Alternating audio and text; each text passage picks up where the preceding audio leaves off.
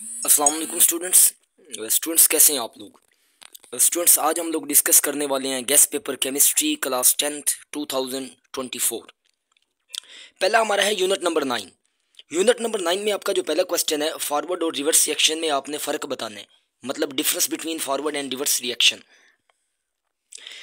इसके अलावा आपने रिवर्सिबल रिएक्शन की एक्सप्लेनेशन देनी है, मिसाल और ग्राफ की मदद से. मतलब discuss reversible reaction with the help of example and graph reversible reaction मुकम्मल नहीं होते. Reversible reactions never completed why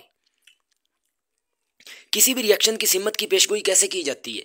How we can predicted the direction of reaction equilibrium constant की अहमियत तहरीर करें. Mention the importance of equilibrium constant K C given reaction की आपने के सी वैल्यू लिखनी है और वो आपको पता है कैसे लिखते हैं। लॉन्ग क्वेश्चन इसमें से आपने करने हैं लॉ ऑफ़ मास एक्शन और डायनामिक इक्विलिब्रियम की macroscopic खसूसियात। Discuss law of mass action and discuss the properties of dynamic equilibrium macroscopic properties of dynamic equilibrium next आपका यूनिट नंबर टेन है। उसका क्वेश्चन है कॉन्जुगेट एसिड और conjugate base में फ़र्क बताना है। Difference between conjugate acid and conjugate base Arrhenius के नज़रिया की हदूद बयान करें।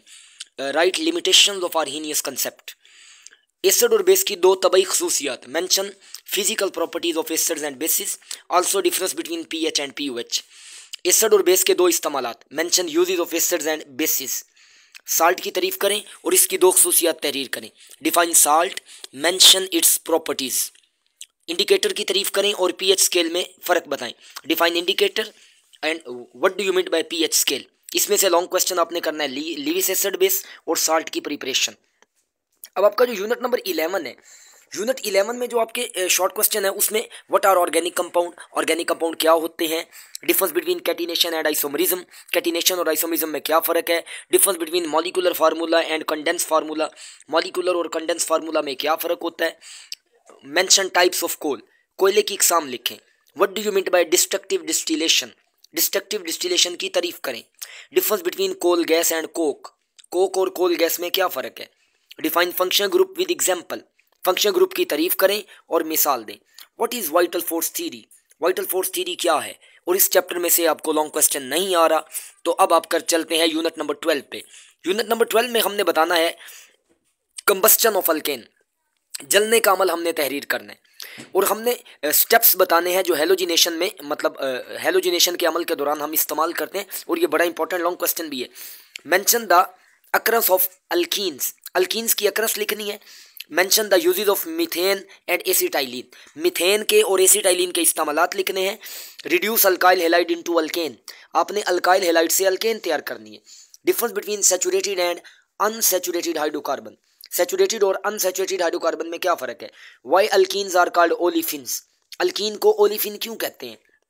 जो लॉन्ग क्वेश्चन आपको आ रहे हैं, वो है अल्कीन्स की आपने ऑक्सीडेशन करवानी है with K M right oxidation of alkene with K M N O four also mention the properties of alkene और ये कौन सी? फ़िज़िकल प्रॉपर्टीज़ और इसमें एक लॉन्ग क्वेश्चन और इजाफा कर लें। Halogenation of alkane with mechanism अब आगे आपका यूनिट नंबर थर्टीन इसमें डिफाइन कार्बोहाइड्रेट्स विद एग्जांपल आपने कार्बोहाइड्रेट्स की तारीफ़ करनी है और मिसाल देनी है.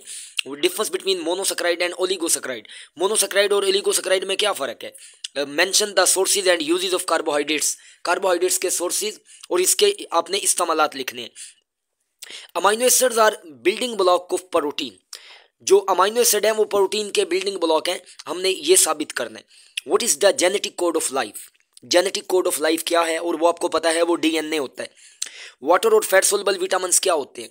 Difference between water and fat soluble vitamin इसके बाद आपका क्वेश्चन है difference between amino acid and fatty acid amino acid और फैटी एसिड में क्या फ़र्क है? इसका जनरल फार्मूला तहरीर करें। Difference between essential and non essential amino acid essential और नॉन असेंशियल अमाइनो एसिड में क्या फ़र्क है? उसकी हमने वजाहत करनी।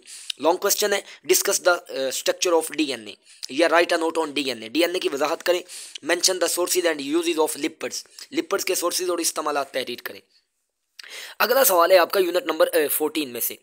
शॉर्ट क्वेश्चन है difference between troposphere and stratosphere troposphere और स्टेटोस्फेयर में क्या फ़र्क है? Define atmosphere write composition of air एक तो आपने हवा की कंपोजिशन तहरीर करनी है। और आपको पता है एटमॉस्फेयर में जो गैसेज हैं नाइट्रोजन है ऑक्सीजन है कार्बन डाइऑक्साइड और आर्गान है। How acid an affect building material acid rain जो है, वो इमारतों को किस तरह तबाह करती है? Difference between primary and secondary pollutants primary और सेकेंडरी पॉल्यूटेंट्स में क्या फ़र्क है? Right sources of C O and C O two. C O और सी ओ टू के सोर्सेज तहरीर करें।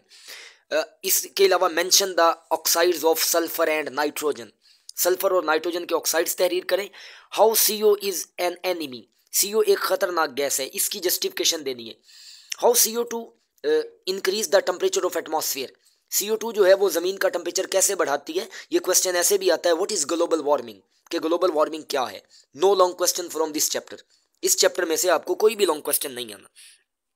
अब आपका है यूनिट नंबर फिफ्टीन ये बहुत इंपॉर्टेंट है। Why water is called universal solvent पानी यूनिवर्सल सॉल्वेंट क्यों है? Mention the properties of water पानी की खसूसियात तहरीर करें। What do you meet by capillary action capillary action क्या है? How non polar compounds are not soluble in water जो नॉन पोलर कंपाउंड है, वो पानी में हल नहीं होते। Mention the method to remove the temporary and permanent hardness temporary और परमानेंट हार्डनेस को निकालने के तरीके लिखने हैं। And what are detergents and what is hard water also the defects of detergents and hard water detergents के और hard water के नुकसान तहरीर करें। Why we use pesticide pesticide क्यों इस्तेमाल की जाती हैं? What are water bond disease पानी से पैदा होने वाली बीमारियाँ क्या हैं? Differentiate between soft and hard water soft और हार्ड वाटर में फ़र्क बताएँ। इसमें लॉन्ग क्वेश्चन है एग्रीकल्चर इफ्लुएंट्स और वाटर बॉन्ड डिजीजेस पानी से पैदा होने वाली बीमारियाँ। अब आ गया जी आपका यूनिट नंबर सिक्सटीन पहला क्वेश्चन है difference between electromagnetic separation and gravity separation electromagnetic और ग्रेविटी सेपरेशन में क्या फ़र्क है? मेट्रोलॉजी और गेंग में क्या फ़र्क है? साल्वे प्रोसेस में रॉ मटेरियल के नाम आपने बताने हैं और ये तीन है, ये याद रख लें। इसमें एक आपके पास अमोनिया है, एक आपके पास कैल्शियम कार्बोनेट है और एक आपके पास है sodium chloride mention the importance of urea urea की आपने अहमियत लिखनी है। Difference between diesel oil and fuel oil diesel oil में और फ्यूल ऑयल में क्या फ़र्क है? How roasting is done roasting कैसे की जाती है? How we convert a sodium bicarbonate into sodium carbonate आप सोडियम बाई कार्बोनेट को सोडियम कार्बोनेट में कैसे कन्वर्ट करते हैं? मैंशन द इंपॉर्टेंस या mention the importance of Solvay process Solvay process के फ़ायदे लिखें। Mention the raw material of urea urea के रॉ मटेरियल तहरीर करें।